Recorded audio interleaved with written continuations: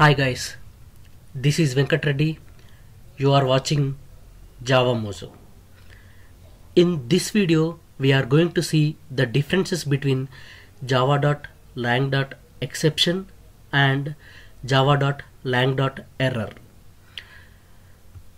This java.lang.error and java.lang.exception both of these classes are derived from java.lang.throwable class. Even though both of these classes are derived from java.lang.throwable, there are significant differences between these two classes. Let's see what are all those differences.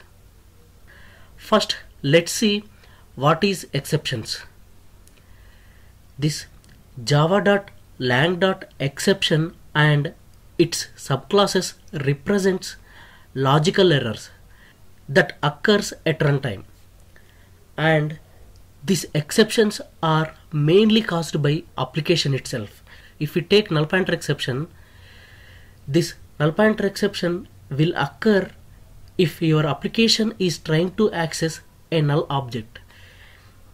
And most of the times these exceptions are recoverable in nature let's see what is the meaning of recoverable in nature with an example Let us suppose as part of my application, I have a requirement to read data from file and create an object out of that file data. Just I will write code here. Code to read data from file and create an object out of that file data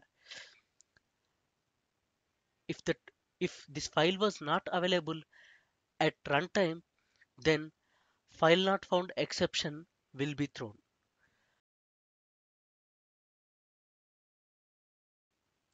we can recover from this exception by using this try catch blocks.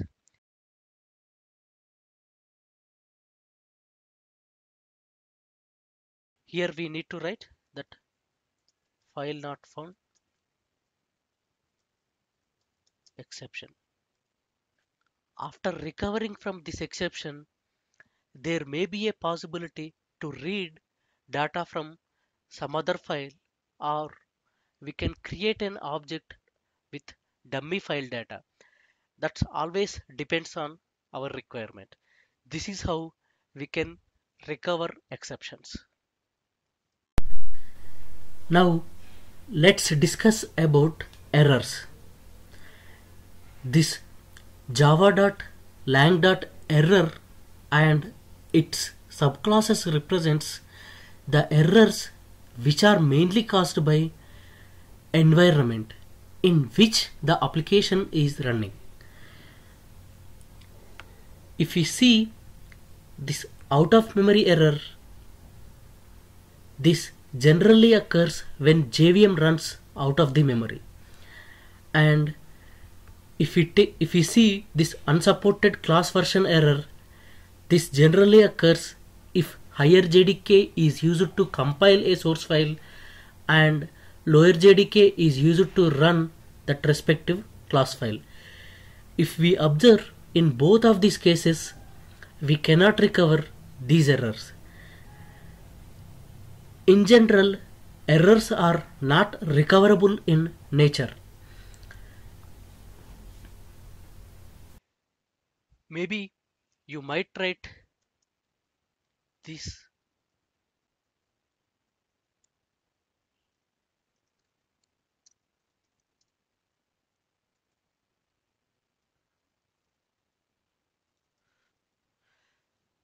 you might write this and you may ask me why can't I recover errors It is syntactically correct but this is not exactly recovering errors because like if I get out of memory error somehow we are recovering here but there may be a possibility very soon in application somewhere we will get the same exception. This is not exactly recovering an error. I hope this clears the differences between exceptions and errors. Let's summarize what we have discussed. Java.lang.exception and its subclasses represents logical errors which are caused by application itself and these exceptions are recoverable in nature. On the other hand, java.lang.error and its subclasses fatal in nature. We cannot recover errors. These are all the differences between exceptions and errors. Thanks for watching this video. I hope to see you in my next video. Please subscribe to my YouTube channel.